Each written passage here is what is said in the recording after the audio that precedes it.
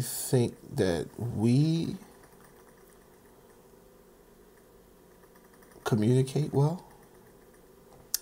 I think that we have our moments. I think we struggled last year with communication um, because I think, and we didn't even realize we were struggling with the communication until we actually sat down and had a conversation about it.